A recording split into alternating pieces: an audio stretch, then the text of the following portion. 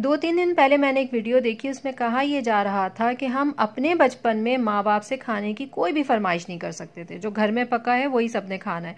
चाहे वो किसी को पसंद हो या ना हो। तो लाजमी बात है, पहले बच्चे बारह होते थे। बारह नहीं तो छः कर दें। अगर एक एक की फरमाइश अम्मा पूरा करने बैठेंगी तो ना अम्मा बचेंगी, ना अब्बा बचेंगे। अभी दो तीन बच्चों का ज़माना है, ऐसे में अगर आप वही तरीका इस्तेमाल कर रहे हैं, बच्चों पर वही हुरबा इस्तेमाल कर रहे हैं तो अब नहीं चलेगा। पहले के माँ बाप इतना कनेक्शन बच्चों से बना नहीं पाते थे, क्योंकि घर में कोई ना कोई बुज़ुर्ग हजरात मौजूद होते थे, नाना नानी, दादा दादी, कोई ना कोई घर में मौजूद है। अम्मा अब्बा की अपनी मसरूफियत होती थी, उन्हें मालूम होता था कि अगर हम मसरूफ़ हैं घर में या बाहर तो हमारे बच्चों के साथ कोई ना कोई घर का फ़र्द मौजूद है। तो इतना ज़्यादा बच्चों से वो क्लोज़ नहीं हो पाते थे। आज के माँ बाप इजहार करना पसंद करते हैं, बच्चे को प्यार करना पसंद करते हैं, एक एक कनेक्शन बच्चों का आपस में नज़र आता है। पहले के टाइम में एक लिहाज होता था, बुज़ुर्गों के सामने आप अपने बच्चे को प्यार नहीं कर सकते थे तो उसका ख़त्म होना, उसका होना दोनों बराबर है, उससे कोई फ़र्क नहीं पड़ रहा।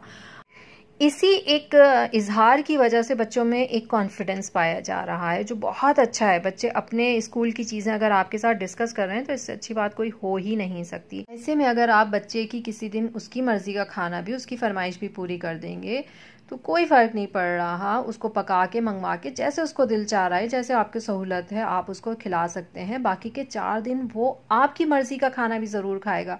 वो आपको कुछ भी नहीं बोलेगा। कि इसमें इतना ड्रामा करने की क्या ज़रूरत है?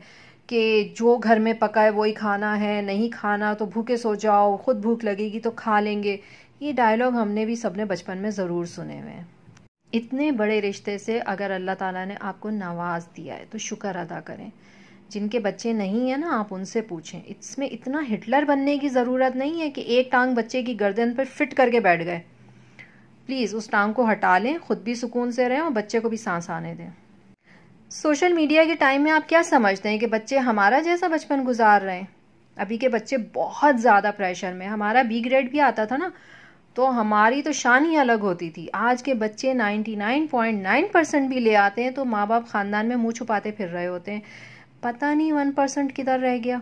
इसीलिए बच्चों की परेशानियों को समझें। अगर आपके पास ज़राए नहीं है, वसाइल नहीं है तो आप बच्चे को समझा सकते हैं। आज के बच्चे ज़्यादा समझदार हैं। लेकिन अगर सब कुछ होते हुए भी आप अगर उनको तरसा रहे हैं ना, क्योंकि आप माँ और बाप हैं और आपकी यही तरबियत का तरीका है, क्योंकि सदियों सालों पुराना है, क्योंकि हमारे माँ बाप भी यही करते थे तो फिर माफ़ी के साथ। अभी तो ये छोटे हैं ना तो अभी आपका टाइम है। जब इनकी बदमाशी का टाइम आएगा ना तो फिर आप ये कहते फिरेंगे कि अब मेरी तो औलाद सुनती नहीं है हमने तो अपना सब कुछ लगा दिया और आज की औलाद जो है वो कुछ समझती नहीं है माँ बाप को। दोबारा माफ़ी के साथ। ये बीज आपने ही बोया तो, तो फ़सल भी आपने ही काटनी है। अजीब ही वक्त चल रहा है। पुराने लोग बदलने को तैयार नहीं है। आज की नस्ल बहुत जहनी तौर पे तरक्की कर चुकी है तो उन्हें जहनी अजियत देने के बजाय, उनकी तरक्की में रुकावटें डालने के बजाय आप उनका साथ दें, उनके साथ एक कनेक्शन बनाएँ। आप उनके दोस्त बन के रहें। अब आप वो वाले दोस्त नहीं समझो जो उनके दोस्त होते हैं। वो कैटेगरी अलग है, उसमें हमें घुसने की ज़रूरत भी नहीं है। एक अच्छा कनेक्शन यही दोस्ती है हमारे उनके साथ कि वो हमसे हर बात अपनी शेयर कर सकें।